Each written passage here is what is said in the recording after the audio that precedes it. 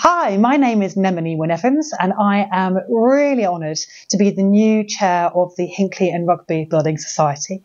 I've been on the board since 2017. Um, I uh, took up uh, the chair position at one of its subcommittees a few years ago, the nominations committee. Um, and as of March 2024, I'm stepping up to be the Society's first female chair.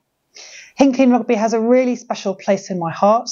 Um, I live locally, I live here in Warwickshire, um, and uh, I think it has a really uh, unique franchise uh, in terms of the local communities that we serve, uh, but also the product set that we look to offer to attract members, not just in our home counties of Leicestershire and Warwickshire, but also to uh, uh, compete right across for other UK customers as well.